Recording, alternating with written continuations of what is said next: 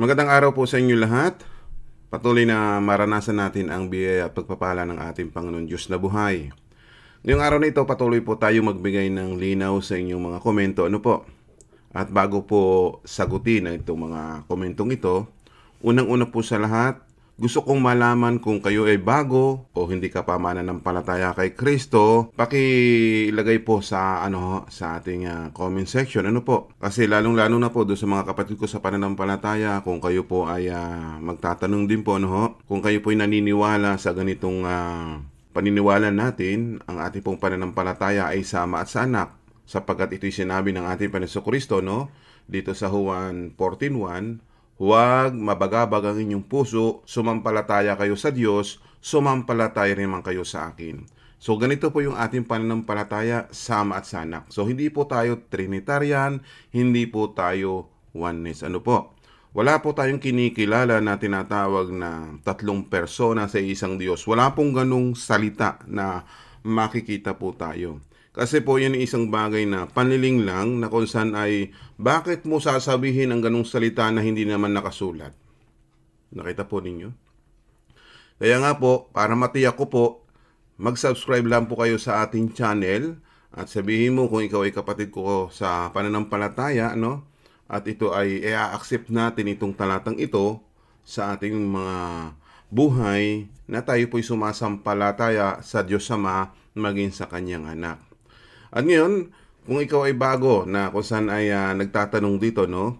Huwag ka naman makalimot na mag-subscribe. Kasi nakatulong na ako sa inyo, kaya nga itong ating kondisyon, ano, ang kondisyon mo ay uh, kung tatanggapin mo o hindi, nasa iyo kung magsasubscribe ka o hindi. Sapagkat itong mga tanong po ninyo, ang ating basihan, ang isinasagot, mga salita pa rin po ng Panginoon. Ano? Hindi nang galing sa akin ang sagot. Sapagkat babasahin ko yung uh, salita ng Diyos na siya mismo ang magpapaunawa sa atin. Ano po? Ngayon, dahil tayo kulang sa kaalaman, karunungan at pangunawa para tayo mabigyan, just humble ourselves and follow the instruction of God para hindi tayo magkaroon ng failure sa ating pananampalataya. Ano po? Itong tanong na ito ay galing po kay Marin Garcia. Kung nagkakamali ako, pakicorrect po no kasi hindi ko alam. Basta ang alam ko, merong salitang Marie. Pero yung Marine ay ngayon lang ako nakarinig. Ano, pasisya na po kung yun po ay mali ang aking pronounce. At ganyan pa man natin basahin ang inyong katanungan. Brother, magkaiba ba ang ibig sabihin ng matuwid at banal?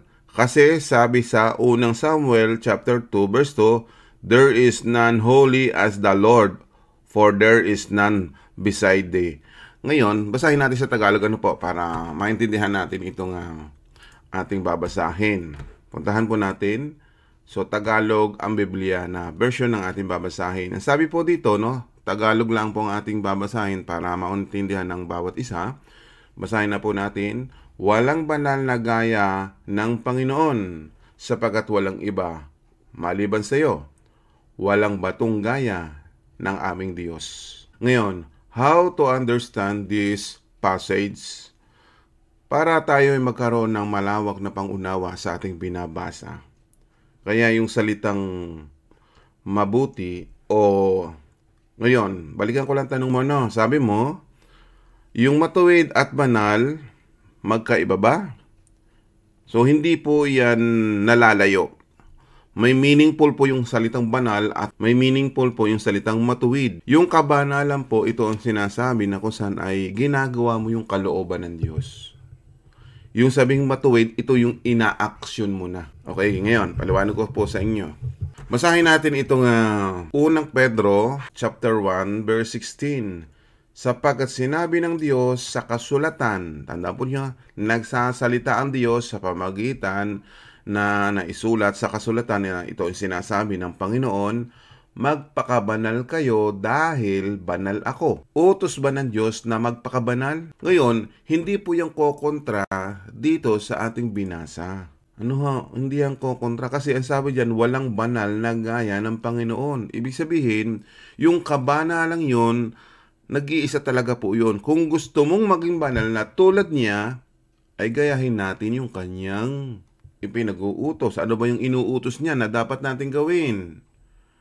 Yan ang hindi natin naiintindihan. Ano? Ngayon, basa tayo ng ibang salin.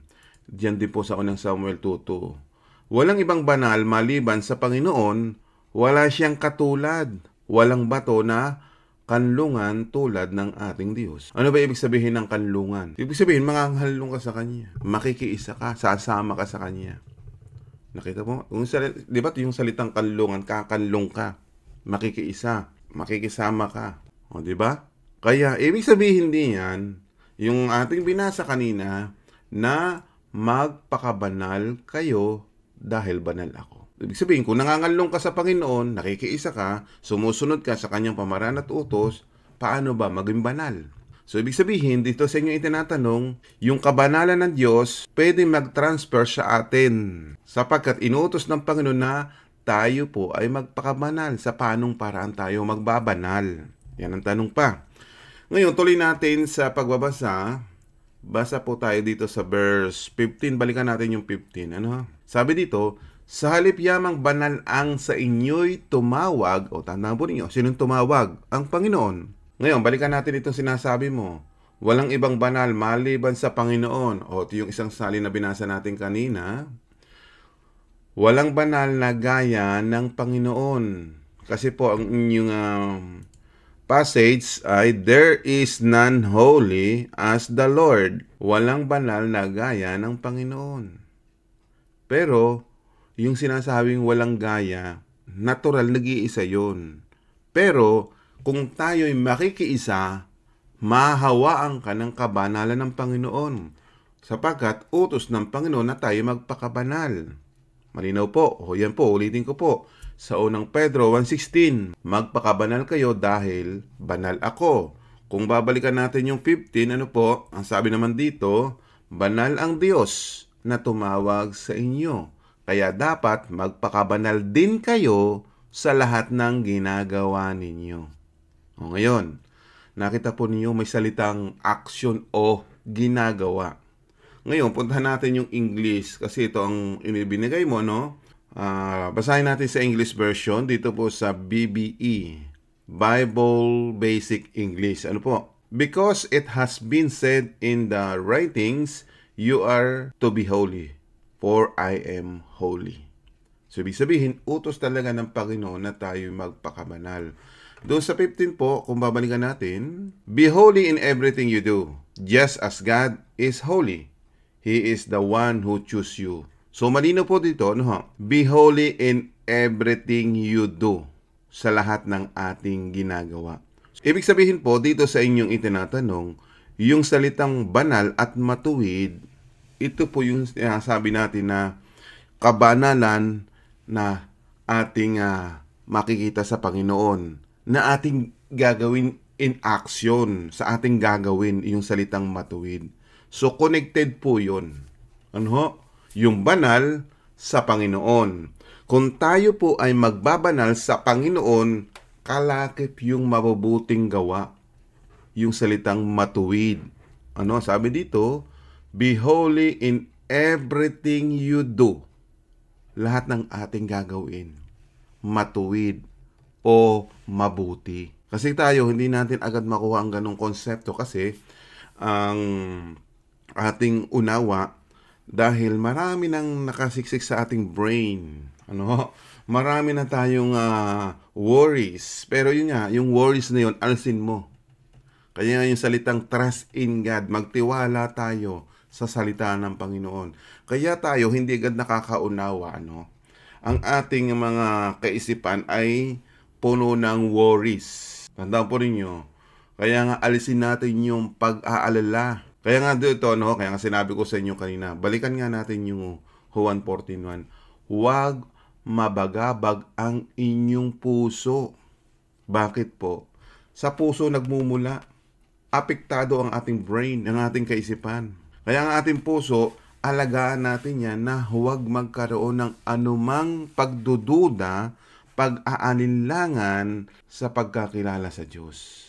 Nakita po ninyo? Kaya kung ikaw ay may kinikilala ng Diyos, alamin mo kung sino talaga siya. Baka ang iyong pagkakilala sa Diyos ay hindi pala tunay na Diyos. Ganyan po dapat tayo. Kung talagang kinikilala mo ang Diyos na makapangyarihan, na gumagawa ng lahat ng bagay, kilalanin mo yun. At hindi siya nadidiktahan, hindi siya natuturuan. Mas matalino siya kaysa sa atin. Dapat ganyan ang pagkakilala mo sa Diyos na iyong paglilingkuran. Nakita po ninyo. Kasi ang ating pinakikinggan, walang iba kundi ang Diyos. Tayo kulang sa karunungan, tayo kulang sa kaalaman. Kaya dito, salamat sa nagtatanong na ito, no? O, bigyan mo na kita ng palayo o Marie, ano? Kasi medyo mahaba ang yung pangalan. Dito, malinaw na ba sa iyo yung salitang banal, yung kabanalan ng Diyos, ibig sabihin, sa Diyos po yun. Yung kabanalan yon perfect. Walang kamalian. Banal po yun. Yung salitang matuwid, yung kanyang ginawa. Tayo, pag magbabanal, gagawin din natin kung ano yung mabuti. Ia-action din natin po yun. So ngayon, bigyan natin ng linaw to. Basa tayo dito sa Hebreo 12.14. Ano po ang sinasabi dito? Pagsikapan ninyo magkaroon ng kapayapaan sa lahat at ng kabanalan na kung wala nito'y walang sinumang makakakita sa Panginoon. Nakita po ninyo? Tandaan po ninyo, kung hindi ka magbabanal, hindi mo makikita ang Panginoon. Kaya ang sinasabi dito, pagsikapan ninyong magkaroon ng kapayapaan sa lahat at ng kabanalan. Nakita po ninyo? Kaya yung kabanalan, iyan ay isang bagay na requirement sa Panginoon. Kaya marami nagsasabi, mahirap daw magbanal, kaya huwag na kayo magpakabanal. Ay, hindi po ganun ang pag-aaral ng salita ng Diyos. Kailangan talaga magbanal po tayo ang pagbanal naman po ito ay may aksyon. O ngayon, i-action natin. Ngayon, basahin natin sa ibang salin ano, para makaintindihan natin ito. Dito pa rin po sa Hebreo 12.14. Pagsikapan ninyong mamuhay ng may mabuting relasyon sa lahat ng tao. Nakita po ninyo? Yung kabanalan, connected po yun eh. Ang gagawin mo do sa inyong pagiging banal, yan, magiging mabuti kang tao meron kang mabuting relasyon sa lahat ng tao, mahirap o mayaman, dukha o sino man siya. Nakita po ninyo? Kaya dito, magkalaki po yan. Magkasama po yan. At magpakabanal kayo. So, nakita po ninyo? So, ito yung sagot natin sa inyong itinatanong. Hindi po magkaiba. Magkasama po iyan. Pag nagbabanal ka, nakikinig ka muna ng mga aral at turo ng Diyos sa kaka-aksyon base doon sa kanyang ipinapagawa. Kung nagbabanal ka at gumagawa ka naman na hindi sa kalooban ng Diyos, hindi sa katuwiran ng Diyos, hindi sa kabutihan ng Diyos, ibig sabihin, kahit pala ikaw nagbabanal pero hindi o taliwas sa ang pinapagawa ng Panginoon, ibig sabihin, nagkakasala ka sa Diyos kasi mali yung paraan mo. Kasi yung paraan ng Diyos, yun ang perfect. Yung paggawa ng mabuti, ayon sa kanyang kalooban. Baka dito rin nalilito yung iba. Na ang sabi nila, ang inako na ng Diyos, wala ka nang gagawin. Mali po yun pag wala kang gagawing kabutihan. Nakita po ninyo? Kaya ang tao, kahit iyan ay hindi pa nakakilala sa Panginoon o walang pagkakilala sa Diyos, pero ang kanyang puso'y gumagawa ng mabuti, Katulad ko po nung ako'y maliit po, mga lola ko na kinagis na ko wala silang pag-aaral. No? Hindi sila pala simba. Yung mga lolo't lola ko, no? nasa bahay lang sila.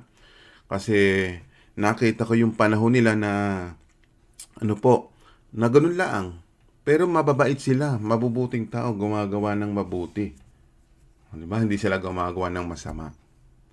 Ngayon, itong mga taong ito, na makikita ko na may kaligtasan yun. Tandaan po ninyo, kasi yung iba magpapaliwanag, kailangan mo daw sumampalataya at pag ikay sumampalataya na, tsaka kapagagawa ng mabuti. E paano yung mga hindi na nga nakakakilala, hindi pa nasa sumasampalataya sa Diyos? Kasi ang basahan, kasi po ang basihan dito, yung puso mo kung ikaw ay naging mabuti sa Diyos. Paano naging mabuti? Kasi likas sa tao na nilikha ng Diyos na mabuti. Kaya Huwag tayong huhusga yung ating napag-aralan.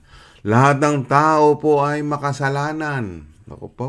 Eh, ano ba yun? Di ba tinalaki ko na sa inyo?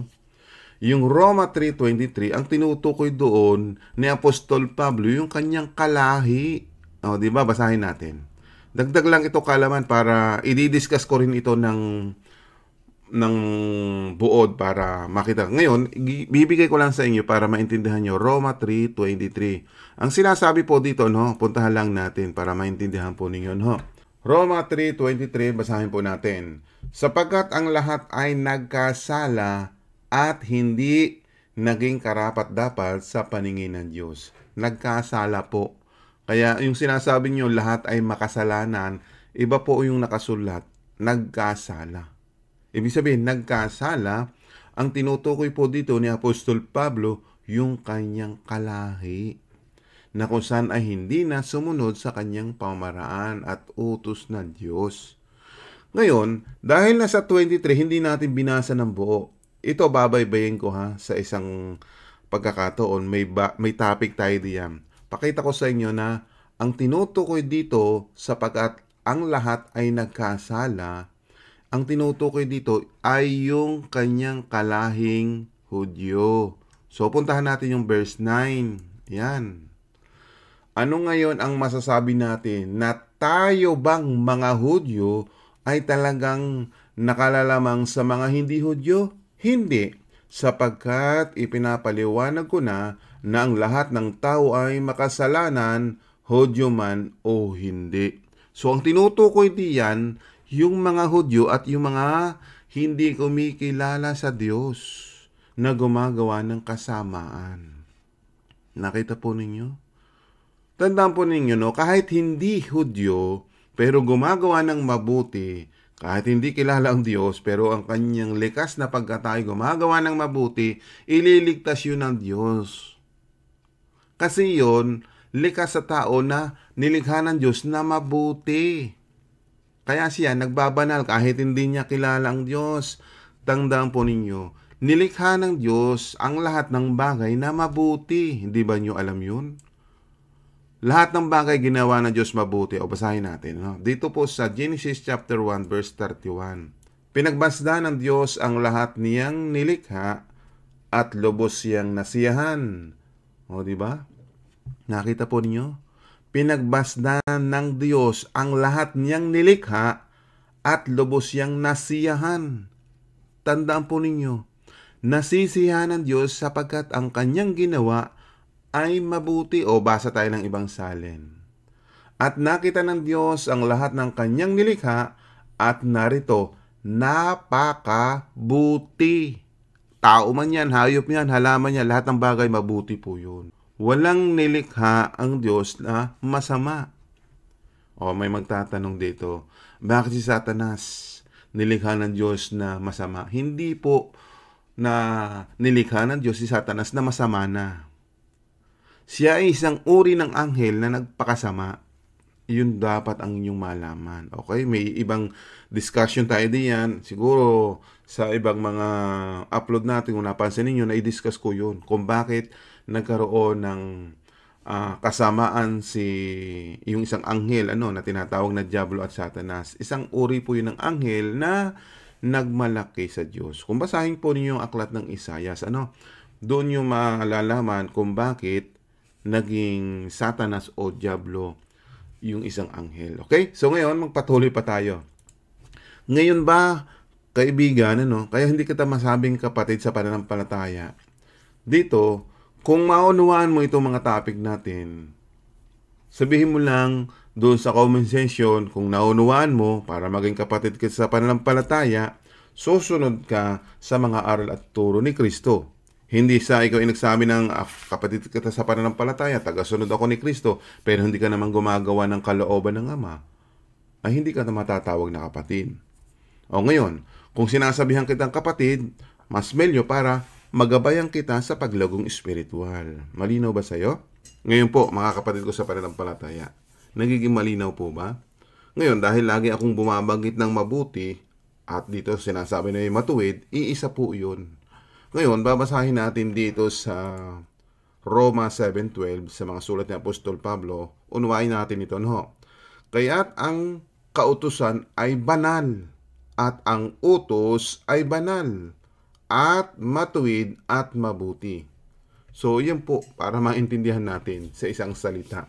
Kasi sa itinatanong po ninyo, no, Ibig sabihin ng matuwid at banal kasi yun po, dahil hindi na tayo malilito, na ipaliwanag na ito sa atin ng mga kasulatan at binabasa ko po sa inyo. No, balikan natin ito. Banal, matuwid, at mabuti, yan ay magkakalaki po yan. Ano? So, basa pa tayo ng ibang salin.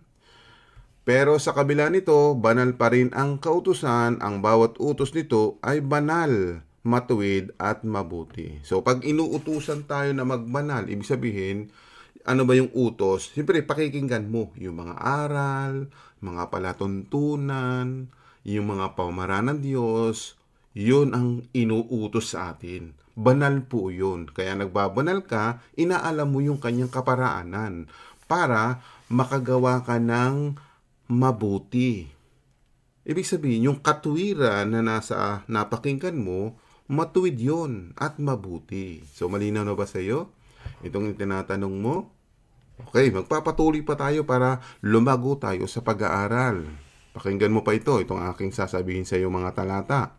Ngayon, babasa pa ako no, para maintindihan mo. Ito pa, babasa ko sa isang uh, talata sa mga sulat naman ni Mateo 5.16. Paliwanagan ninyo nang gayon ang inyong ilaw sa harap ng mga tao. Yan po, gagawa ka talaga ng mabuti sa kapwa-tao. Upang makita nila ang iyong mabubuting gawa. O, di ba? Malinaw po yan. Kaya yung kabanalan, ang reflection nito, may bunga. Ang bunga noong iyong pagbabanal, gagawa ka ng mabubuting gawa. At luwalatiin nila ang inyong ama na nasa langit. O, di ba? Para maraming lumuwalhati sa Diyos kapag gumagawa ka ng mabuti. Nakita po ninyo? Sa iyong kabanalan, unang-una, makikinig ka ng mga aral at turo ni Kristo. Kasi mahirap naman mag gumawa ka ng mabuti na hindi mo alam yung pamaraan ng Diyos. Kaya may dalawang klaseng mabuti. Kung gagawa ka ng mabuti, ibabase mo sa iyong nalalaman lamang, ibig sabihin, yung kabutihan, ginagawa mo para sa iyong sarili, hindi po yun acceptable. Pero kung gumagawa ka ng mabuting gawa, base sa mga ipinag-uutos ng Diyos, iyon po ang ang naluluwalhati ang Ama. Nakita po ninyo. O ngayon, isa pa. Basta pa tayo. Gusto ko po marami kayong mapakinggan ng salita ng Diyos. Ano? Kasi ito, hinahanap ko talaga para hindi naman galing sa akin yung aral. At aral mismo ng Diyos na mababasa natin sa banal na kasulatan at sinalita ito ng Panginoon. Ito pa, basahin din natin sa mga sulat ni Apostol Pablo. Sabi niya, Huwag mong hayaang hamakin ng sinuman ang iyong kabataan kundi ikaw ay maging halimbawa ng mga mananampalataya sa pananalita, pag-uugali, pag-ibig, pananampalataya at sa kalinisan. Yan po ang pagreliyon. Ano? Kasi yung akala nga nila, anong reliyon mo? Akala nga nila, yung, yung sekta, papaliwanag sa iyo, ang sekta ko ay ganito, ito ang pangalan ng iglesia ito ang aming mga doctrines. Ay hindi, doctrines pala ninyo, hindi doctrines ni Jesus Christ. Ano? So kaya, ingat kayo kapag may nag-aanyaya sa inyo na ang sabi, pumunta ka sa aming church. O, iniinyayahan kayo sa aming church. Ba, kanilang church. hindi ganoon. Tapos sabihin, pag hindi ka pumasok sa aming iglesia, hindi ka maliligtas. Ay, mali din po yun.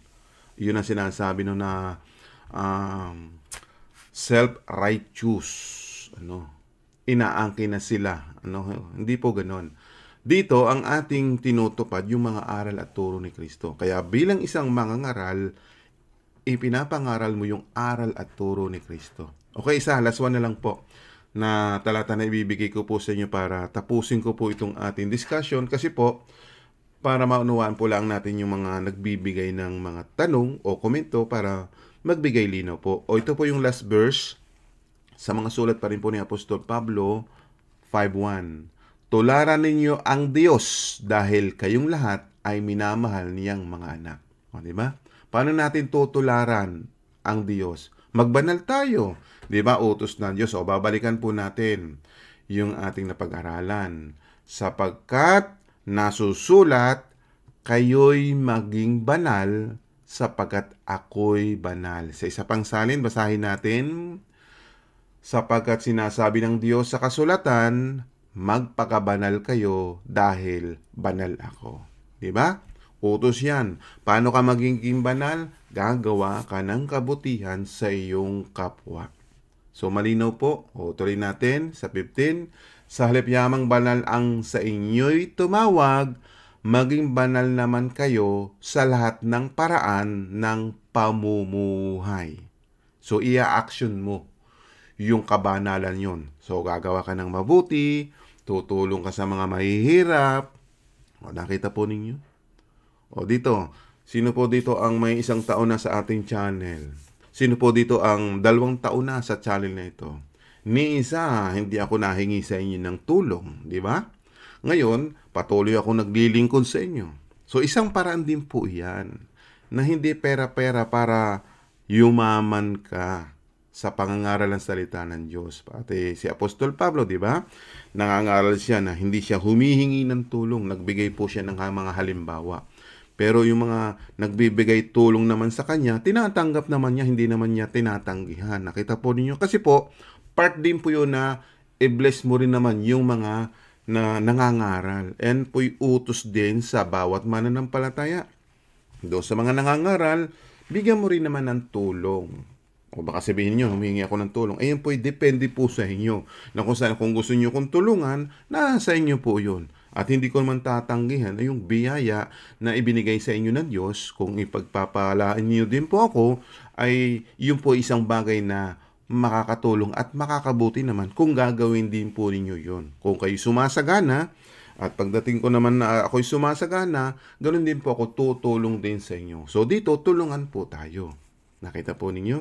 So kaibigan, uh, sana maging kapatid kita sa pananampalataya. At yung iba na gustong sumunod sa pamaraan at utos ni Kristo, mag-subscribe lang po tayo sa ating channel, ano, God's Word, Read Scriptures. At uh, i-like mo rin kung na may natutunan ka, i-share mo ito sa mga mahal mo sa buhay. Ano? Kaya kaibigang Marie, kung malaki ang natutunan mo dito, huwag kang makakalimot na mag-subscribe. Ano? Magpasalamat tayo sa Diyos sapagkat kung walang ganitong channel na magtutuwid sa ating mga maling aral na natanggap, sapagkat yung tamang aral na nating na napapakinggan, yun po ay eksakto sa ating uh, kaisipan na kung saan ay malinaw naman po. So yung ibig sabihin ng banal, sa Diyos po yun. Sa, sa Diyos tayo uh, lalapit, aalamin natin yung kanyang pamaraan, makikinig tayo sa kanyang mga utos, sa kanyang palatuntunan. Ngayon, kung alam na natin yung kanyang pamaraan, doon tayo aaksyon, gagawa na tayo ng mabuti. Ibig sabihin, nagiging matuwid ka sa harapan ng Diyos, dapat maging matuwid ka rin sa harapan ng tao. Meaning, gagawa ka ng mabuti sa iyong kapwa. Ano? Yun po ang ating naging topic ngayon. So, salamat po sa Panginoon dahil nabigyan ulit tayo ng karunungan, kaalaman at pangunawa. Kaya please, do sa mga laging nakikinig at hindi ka pa nakakapag-subscribe, gawin mo na para lagi kang update. So, yun po lang ang aking request sa inyo kung ikaw naman ay uh, narito na rin sa ating channel at naghahanap ka ng uh, tamang aral at turo, ay matuturo ang ka pa ng aral at turo ni Kristo kung patuloy ka makikinig sa salita ng Diyos. At ikaw rin magbasa. Kung meron kang hindi naiintindihan, magtanong ka sa channel nito at pag-aralan po natin. Ano? Kaya ngayon, dito na po muna ang ating pag-aaral at ibalik natin sa Diyos ang papuri, pasalamat at pagsamba. Ang panalangin ko sa bawat isa sa inyo ay huwag kayong madaya ni Satanas at patuloy kayong bigyan ng Diyos ng karunungan, kaalaman at pangunawa. At ngayon, muli natin ibalik sa Diyos ang papuri, pasasalamat at pagsamba sa Diyos Ama na makapangyarihan sa lahat. Maging sa kanyang anak na si Heso Kristo. Hanggang sa muli po ang ating pag-aaral. To God be the glory. God bless you po sa inyong lahat.